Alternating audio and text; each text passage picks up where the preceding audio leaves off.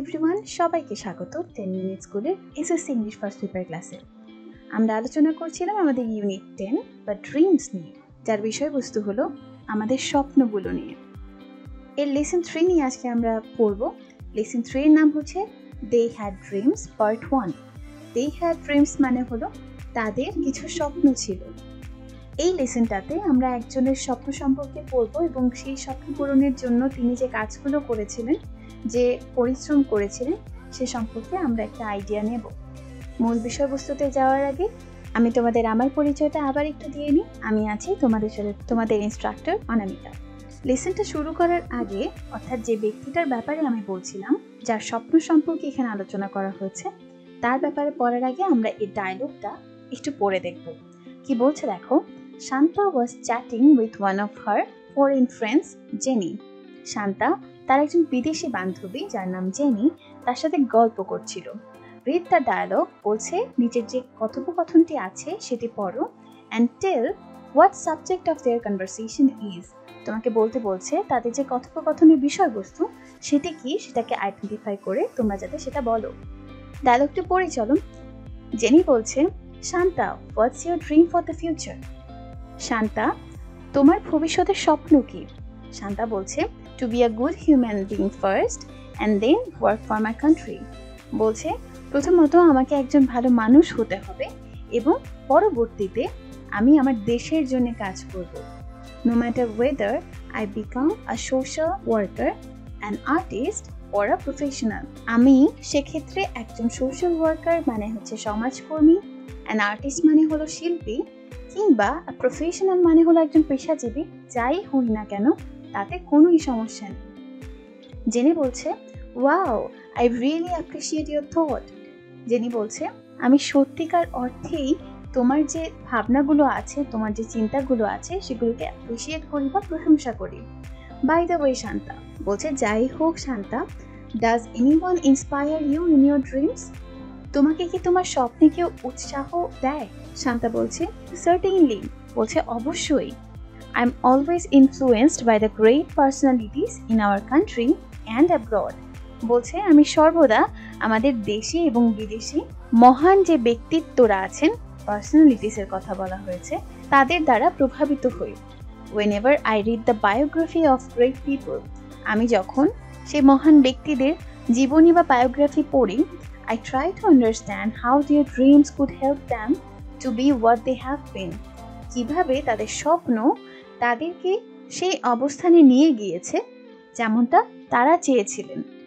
যিনি বলছে would you please tell me about some of your favourite dreamers তুমি কি দয়া করে আমাকে তোমার কয়েকজন প্রিয় স্বপ্নদ্রষ্টাদের কথা বলবে? শান্তা বলছে শিওর অবশ্যই। Read the following text to know about some dreamers in my country আমার দেশের কিছু এরকম স্বপ্নদ্রষ্টাদের ব্যাপারে জানার জন্য নিচের যে টেক্সট আছে সেটাকে পড়ার জন্য বলেছে। They are my icons as well তারা আমার আদর্শ। এখানে আইকনস বলতে বোঝানো হয়েছে আদর্শ। এবার দেখি শান্তা প্রথমে তার কোন পছন্দের স্বপ্নদ্রষ্টার কথা উল্লেখ করেছে। এই যে ছবিটি দেখতে পাচ্ছ, তিনি হলেন আমাদের লেসন থ্রি এর প্রোটাগনিস্ট বা মেইন ক্যারেক্টার এনার নাম হলো প্রীতিলতা ওয়াদ্দেদার। আমাদের এই লেসনটি কিন্তু প্রীতিলতা ওয়াদ্দেদারের ড্রিমস এবং তার জীবন নিয়ে আলোচনা করা হয়েছে। আমরা তাহলে সেটা পড়া শুরু করি। প্রথমে বলছে Pritilata Waddedar was born in Chittagong on five May nineteen eleven Pritilata Waddedar উনিশশো সালে পাঁচ মে চট্টগ্রামে জন্মগ্রহণ করেন। She was a meritorious student at doctor Khastagir government girls school in Chittagong and Eden college Dhaka তিনি চট্টগ্রামের ডাক্তার খাস্তগির গার্লস স্কুল, বা বালিকা বিদ্যালয় এবং ঢাকার ইডেন কলেজের একজন কৃতি শিক্ষার্থী ছিলেন। She graduated in philosophy with distinction from Bethune college in Kolkata distinction ওয়ার্ডটাকে একটু নতুন মনে হচ্ছে, তাই না? এখানে ডিস্টিংশন বলতে কৃতিত্বের সহকারে বোঝানো হয়েছে। ডিস্টিংশন মানে এখানে কৃতিত্ব বোঝানো হয়েছে। তাহলে এই লাইনটার অর্থটা কি দাঁড়াচ্ছে? কলকাতার বেথুন কলেজ থেকে তিনি কৃতিত্বের সাথে দর্শনে স্নাতক ডিগ্রি লাভ করেছিলেন। ইন হার কলেজ ডেজ তার কলেজের দিনগুলোতে Pritilata was an activist in the anti British movement বলছে, কলেজের দিনগুলোতে প্রীতিলতা ব্রিটিশ সরকার বিরোধী আন্দোলনের কর্মী ছিলেন। অল থ্রু হার লাইফ তার সারা জীবনে she dreamed of two things তিনি দুটি জিনিসের, দুটি বিষয়ের স্বপ্ন দেখেছেন সেগুলো কি? প্রথমত সোসাইটি উইথাউট জেন্ডার ডিসক্রিমিনেশন প্রথমত, তার স্বপ্নটা ছিল লিঙ্গ বৈষম্য মুক্ত একটা সমাজ করার and her motherland free from British colonial rule বলছে ব্রিটিশ শাসন মুক্ত তার যে মাতৃভূমি, সেটা তার দ্বিতীয় স্বপ্ন ছিল। তারপর বলছে so she decided to fight against the British rule তাই তিনি কি করেছিলেন? ব্রিটিশ শাসন বিরোধী সংগ্রামী সিদ্ধান্ত নিয়েছিলেন। সুন আফটার এর ঠিক পরে Pritilata became the head teacher of Nandankanan Aparnacharan school in Chittagong তিনি চট্টগ্রামের নন্দনকানন অপর্ণাচরণ স্কুলের প্রধান শিক্ষিকা হয়েছিলেন। গ্র্যাজুয়ালি ক্রমান্বয়ে, she involved herself in Sen's armed resistance movement তিনি কোথায় ইনভলভড হয়েছিলেন? তিনি ওই সময়ে সূর্য সেনের সশস্ত্র প্রতিরোধ আন্দোলনে জড়িয়ে পড়েন। সূর্য সেনের একটা পরিচয় এখানে দেয়া আছে। Surya Sen was a famous anti British movement organiser তিনি কি ছিলেন?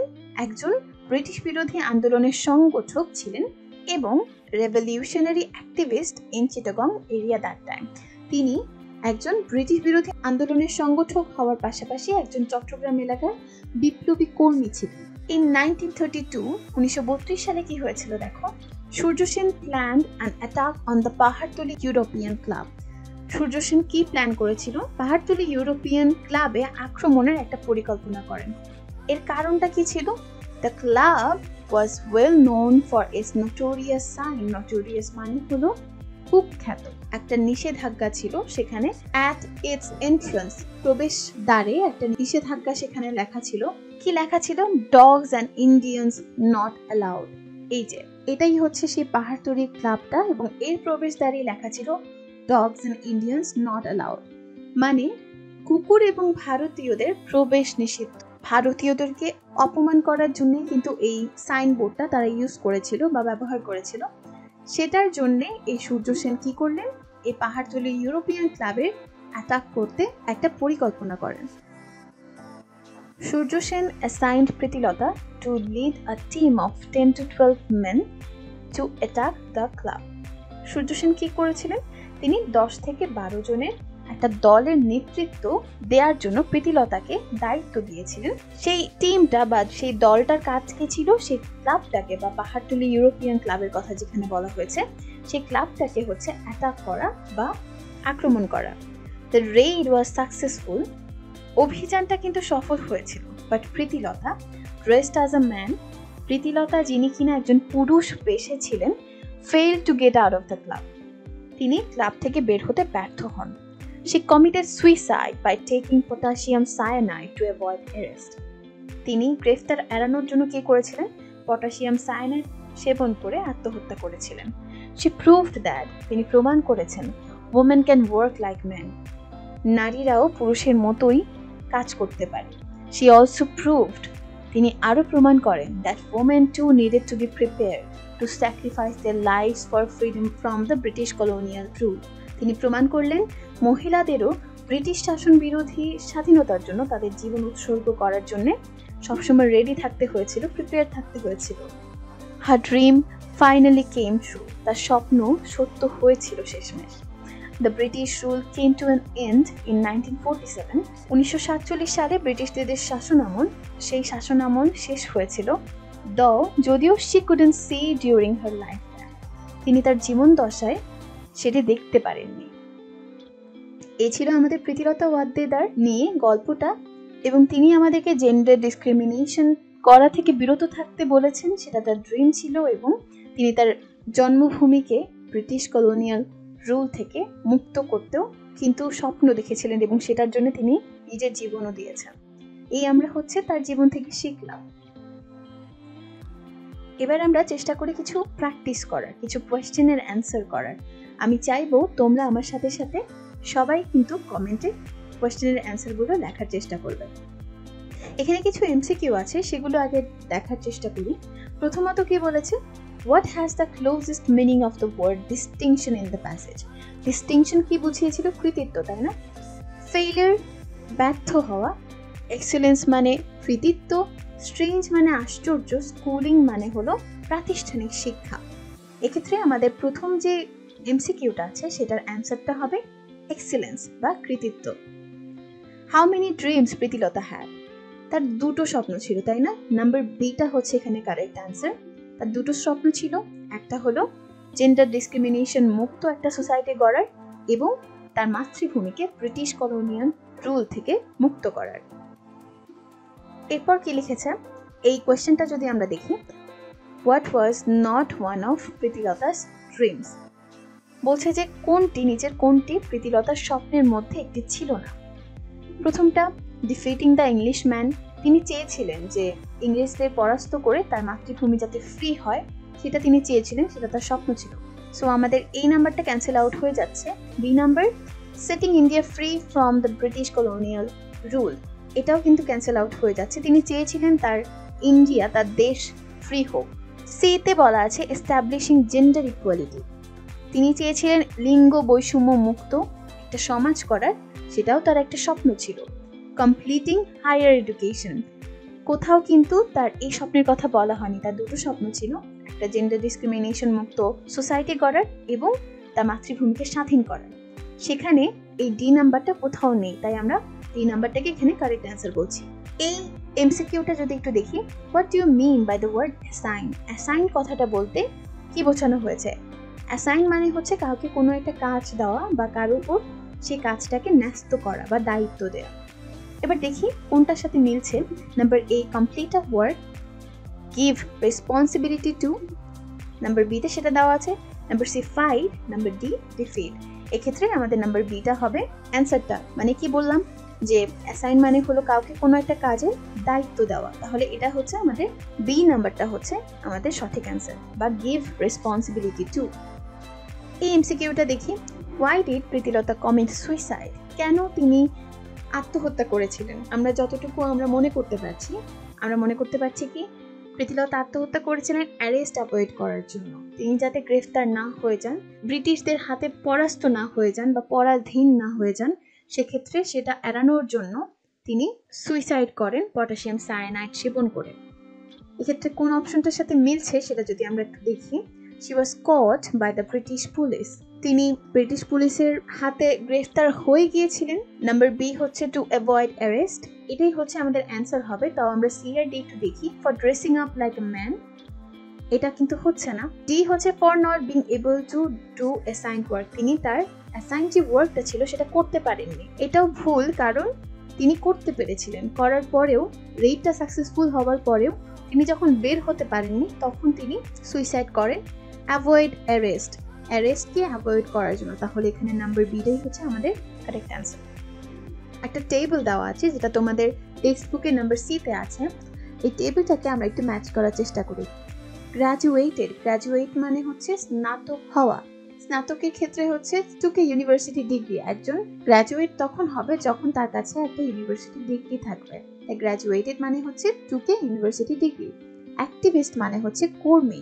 Member of a certain social or political group তিনি হচ্ছে একজন অ্যাক্টিভিস্ট ছিলেন, একজন কর্মী ছিলেন, তাই এই অ্যাক্টিভিস্টের সাথে এই এটা মিলে যাচ্ছে।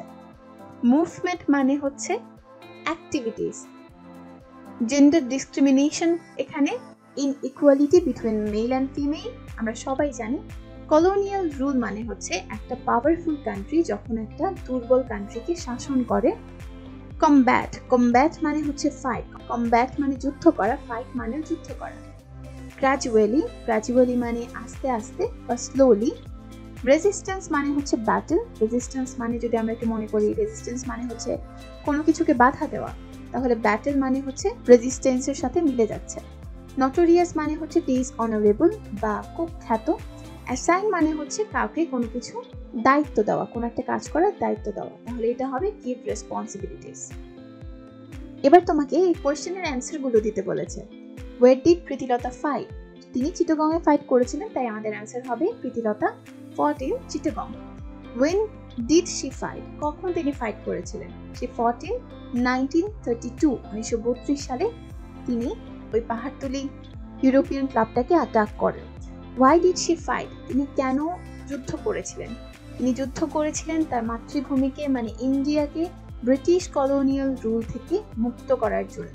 অর্থাৎ she fought to set India free from British colonial rule what was Pritilata's profession তার পেশা কী ছিল? তিনি একজন হেডমাস্টার ছিলেন একটা স্কুলে Pritilata was the headmaster of a school in Chittagong what do you learn from Pritilata's life তার জীবন থেকে আমরা কী শিখি? প্রথমত তিনি তার জীবনে যুদ্ধ করে গেছেন একটা সমাজে যাতে নারী পুরুষ সবার সমান অধিকার হয়, সেটা নিশ্চিত করার ক্ষেত্রে এবং তার দেশকে ভালোবাসা। তিনি দেশকে ভালোবেসে নিজের জীবন পর্যন্ত দিয়েছেন। এই দুটো জিনিস কিন্তু আমরা শিখতে পারি তার জীবন থেকে। তাই আমরা লিখেছি we should learn that a man and a woman can work for their country equally আমাদের প্রথমে শিখতে হয়েছে যে নারী এবং পুরুষ সমাজে সমানভাবে কাজ করতে পারে। পাশাপাশি তার লাইফ আমাদেরকে আরও কিছু শিক্ষা দিয়েছে, যেটা হচ্ছে আমাদের মাদারল্যান্ড বা আমাদের মাতৃভূমিকে ভালোবাসা এবং মাতৃভূমির জন্যে মাতৃভূমির যখনই প্রয়োজন হবে আমাদের, তখনই যাতে আমরা আমাদের জীবন ত্যাগ করার জন্য তৈরি থাকি। সেটা আমাদের প্রীতিলতা তার জীবন দিয়ে শিখিয়েছেন। এতক্ষণ তোমরা যারা যারা আমার সাথে ছিলে, সবাইকে অনেক অনেক ধন্যবাদ। আমি আশা করি আগামী ক্লাসেও তোমরা আমার সাথে থাকবে। সবাইকে অনেক অনেক শুভকামনা। সবাই ভালো থেকো। You all have a good day